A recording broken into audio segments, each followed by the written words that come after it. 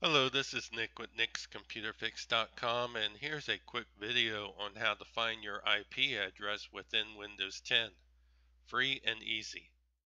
Okay, to begin with, let me tell you that you have two IP addresses.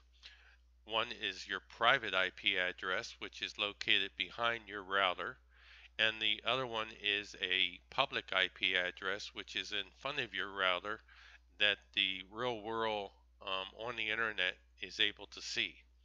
All right, let's go ahead and locate those. To begin with, go down to your Start menu and right click and move up to your network connections and click on that.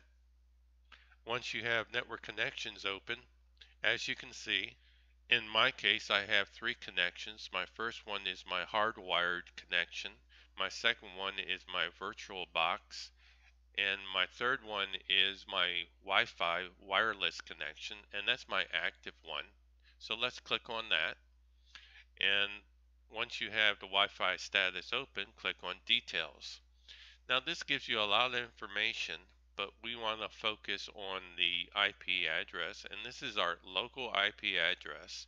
And in my case it's 10.0.0.18 and this is my gateway address right here. Now my local and private address is behind my router and nobody in the real world can see this. And it doesn't do them any good anyway. Alright, let's go ahead and close this out. And I'll close here. And let's go ahead and locate our public IP address. And the best way to go about doing that is to open up your favorite browser, your internet browser that is, and once you have it open, go ahead and start typing the word um, my IP address. And once you have that completely typed, go ahead and click on um, my IP address. And that comes up and gives me my public IP address that the real world internet um, can see. And of course, I've X mine out so you cannot see it. All right, um, that's how you go about doing it.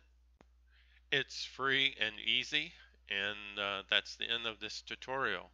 Subscribe and like my video.